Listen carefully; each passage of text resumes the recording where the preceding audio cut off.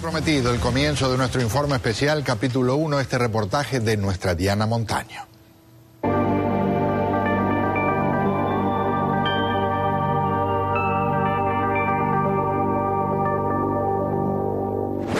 Cada mes que, que le llega el periodo de una mujer que desea tener un hijo es es como estar en el infierno. Marisa Brel, conocida periodista argentina, hizo todo para cumplir el sueño de ser madre. Recién en el sexto tratamiento in vitro, eh, el doctor Pascualini logró embarazarme de mi hija Paloma, que hoy tiene ya nueve años. Años después, quiso repetir la experiencia. Hice cuatro tratamientos in vitro más negativos, o sea, diez en total.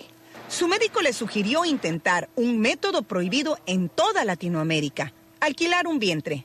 Que en realidad en todo el mundo no hay muchos lugares donde se pueda hacer. En los Estados Unidos, en ciertos estados se pueden hacer. En el resto del mundo, de mi conocimiento, en Ucrania y en India. Eh, esto es como una donación temporal de un útero que sea como una incubadora humana durante nueve meses y que tu bebé pueda crecer el doctor Fernando Ackerman, director asociado de la Clínica de Fertilidad y IVF en Miami, reflexionó sobre uno de los impedimentos para que este tratamiento no esté disponible en los países latinos. Se reconoce a la mamá como la que tiene al bebé dentro del útero, dentro de la matriz. Entonces, esta figura de madre sustituta no está reconocida, por lo que no tiene ningún tipo de resguardo legal. Brel, autora de Voy a ser madre a pesar de todo, alcanzó tanta popularidad con su historia en Argentina que logró cambiar la legislación en la mayor provincia de su país, que ahora ofrece tratamiento gratuito de infertilidad a cualquier pareja con el único requisito de tener entre 30 y 40 años.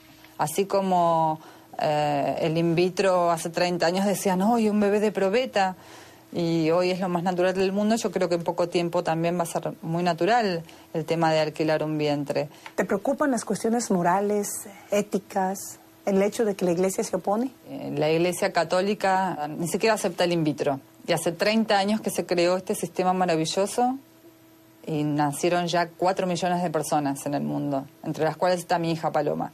Si Dios estuviera en contra, no hubiera existido el in vitro. Los avances de la ciencia en el campo de la reproducción humana son tan grandes que ahora se puede biopsiar un embrión para elegir el sexo del bebé o para diagnosticar enfermedades antes de que ese embrión sea colocado en el útero de la madre. Antes de llegar a ese punto hay una selección muy estricta para ver qué mujer puede ser una madre sustituta. No cualquiera puede serlo. Una mujer eh, sumamente generosa llena de amor porque solamente por dinero no se puede hacer esto, porque realmente no es el dinero que imagina la gente.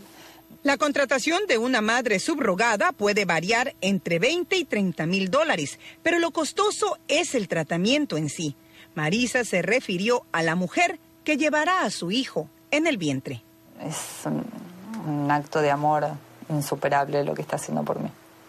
Para hacerse Cafonto, Diana Montaño, América TV.